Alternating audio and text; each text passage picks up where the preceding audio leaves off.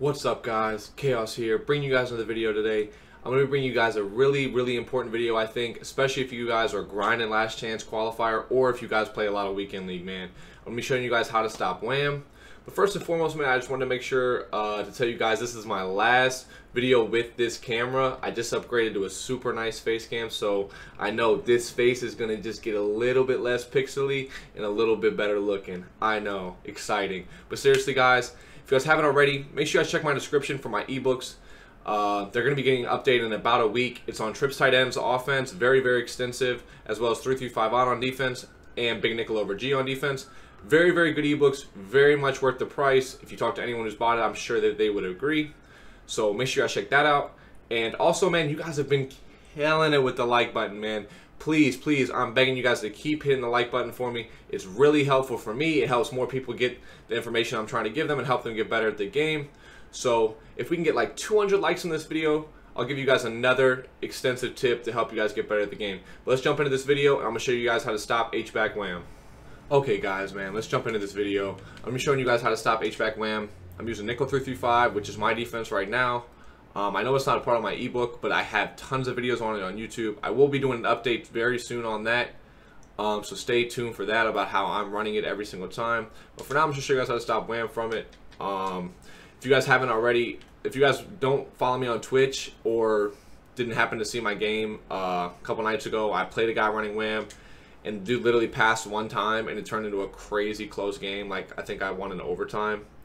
Um, but it was a lot closer than it needed to be because I just couldn't stop Wham. And obviously, he shouldn't stop running it considering the fact I could not stop it. So, the thing about H-back Wham is you can run it through the middle, you can cut it to the right, you can cut it to the left, you can cut it so many different ways as well as running it up the middle the normal way.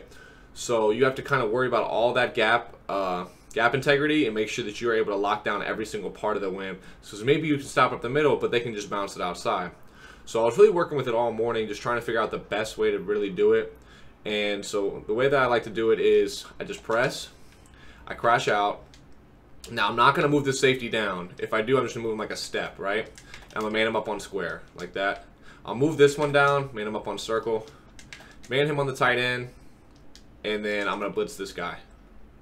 Okay, now something you can do if you want that outside cloud on the left, on this side, uh, Ward, I could blitz him if I wanted to, but I'm not going to because you really don't need to. And then what you're going to do with this guy is you're going to try to shoot the gap. Now, you're going to shoot the gap maybe 7 to 8 out of 10 times. That's about the consistency I was getting with it. Part of the reason why you can't do it as much in practice mode is pre-snap I want to be able to move like this.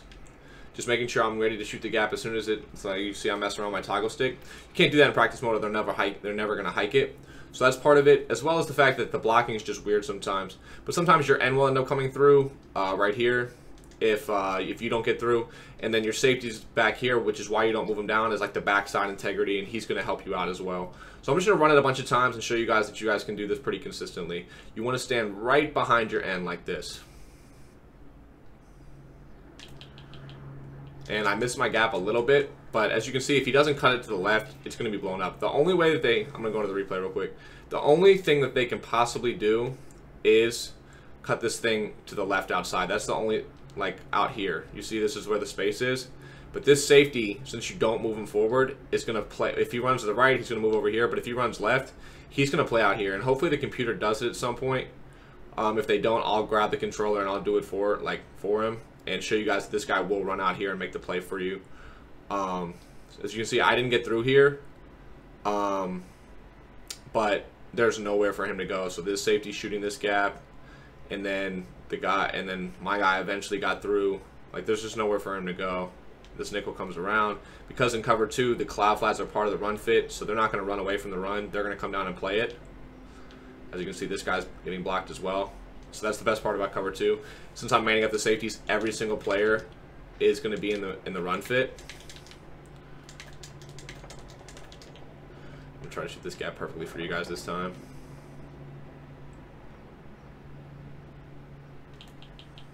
There we go, and I'm through. And you see I hit him in the backfield. Now, there was nothing he could possibly do right there. He couldn't have cut anywhere. I'll jump into the replay and show you guys that. Um, if you're able to shoot it perfectly like that, which is what I'm able to do some of the, like a good amount of the time, like, obviously there's nothing they can do. Like, that's blown up. He can't cut. He can't go anywhere, right? Can't cut left, can't cut right. I literally hit him as soon as he gets the ball. Now, like I said, it's not always going to be that perfect for you, but when it is, like that's that's the best part. But since you have the other backside adjustments, even if you miss the gap, like you're not going to get crushed on it. As you can see, I got messed up there, but Barry is making the play. So do it again here.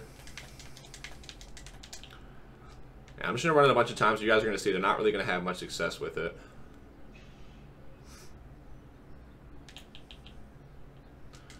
And you see, that was perfect. I'm glad they cut back left. Now, so I missed the gap, right?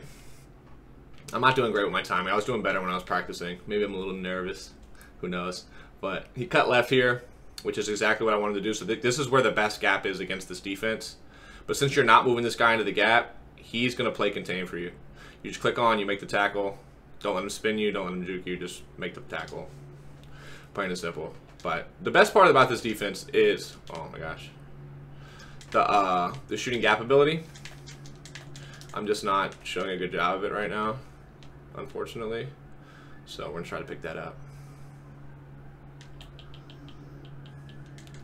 And got blocked again.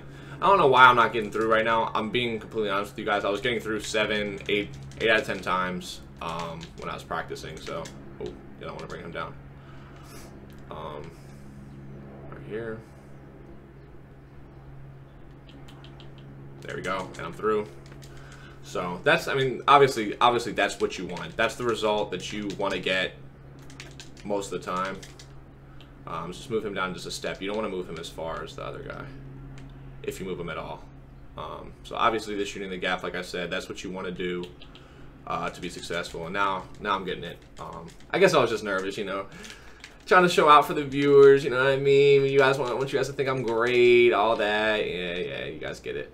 Okay, sorry guys, I had to cut real quick. Um, but obviously, like I was saying the whole time, the best part about this defense obviously is the, the gap shooting. That's what you want to be able to do the majority of the time. Um, and uh, if you're able to do that, like you're gonna be you're gonna be set. Um, not gonna make you guys watch this over and over. I'm not gonna drown on and on. You guys clearly see the defense works. Um, I do want to. Um, I actually am to cut one more time Okay, guys, last cut here. I just wanted to show you guys quickly how to shoot the gap. Uh, I mean, I just want to show you guys one more cut back left. So I took, I added the other controller in just so I could show you guys it. So I'm gonna set up the defense real quick here. Just move him down one step. Puts him. Now I'm gonna miss the gap on purpose. I'm just not even gonna shoot it because I'm gonna be on this controller. I want I want you guys to see when I cut back left here. And now obviously I was able to spin them, but I'm not clicked on there. So I want you guys to see that. All right, let's look at that now. Here we go. So now obviously I didn't make a clean cut or whatever, um, but I just wanted you guys to see like since you don't bring him down, he's got time. He comes down. If he goes middle, he's gonna blow it up middle. Oh, he sees him cut back. He moves left. That's literally like why you don't move him down. If you move him down here, like if you move him down to like right here, he's going to run in here too fast and he's going to get blocked. That's what I realized when I was moving him down to the gap. So you want to move him just a step or not at all and let him make this play for you. But I hope you guys enjoyed, man. Really, really, really good defense for Wham. Hopefully, if I play that guy again, I'm able to execute this defense well. And with that, hope you guys enjoyed. Take it easy. Peace.